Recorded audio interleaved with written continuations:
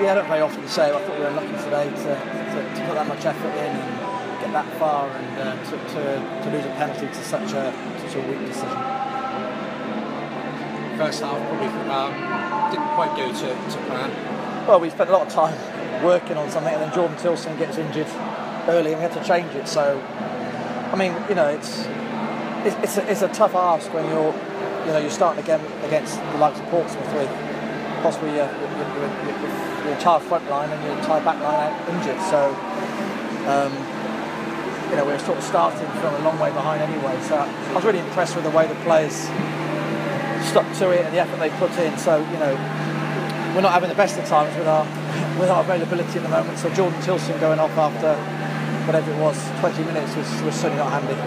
Certainly innocuous incident as well. I mean, he just seemed to quite Bobby, was it? Yeah, but I don't know. It was twisted his ankle, but you know, we, we, we start with, with, Lee and Robbie and David missing from the front line, and then Woody, Jordan, and uh, Troy and Tom McCready all missing from the back line. It's a big, it's, it's a big ask on those players, and I thought they stuck to it really well. And we worked on something, and within 20 minutes we have to change it because I, I, I you know, I just haven't got a replacement for Jordan in that position, how we how we were hoping to play the game. So we had to just change it, change it again at half time, and the players did okay and worked really hard at it, and very proud of them really. Certainly from a defensive point of view, they defended you know really sort of manfully. I mean, probably didn't have too much to do.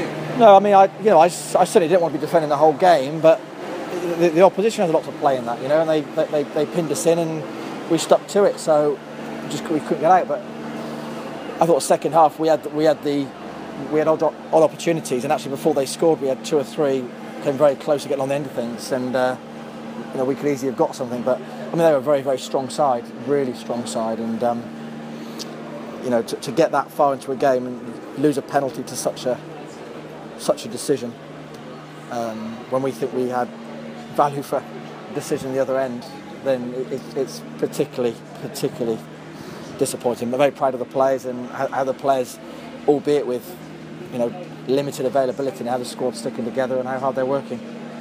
Of the injured players, is, is there any scope for any coming back this week? Or not, not, that, not that, I mean, Robbie, Robbie played the last half an hour today, but he was he had sickness and diarrhea all week, so he was. I'd imagine that that will. I mean, last time we needed a game on Tuesday. I mean, two games we're just losing player after player after player. It's, I mean, it's, it's a. It's just um, it's, it's the last thing we needed on the game Tuesday. I don't know what the what the what the rules are for. Um, if you don't comply with the rules for the five five players who play today need to who start today need to start on Tuesday, but it's the last thing we need. I mean, we, we just can't cope with these two games a week. We're, we're literally losing a player a game at the moment.